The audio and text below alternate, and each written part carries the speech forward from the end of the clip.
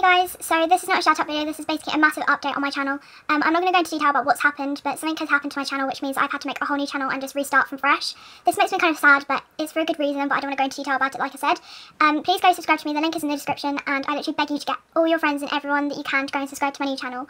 Um, I'll be uploading video stars like I do on this channel and also talking videos because now I've got my camera.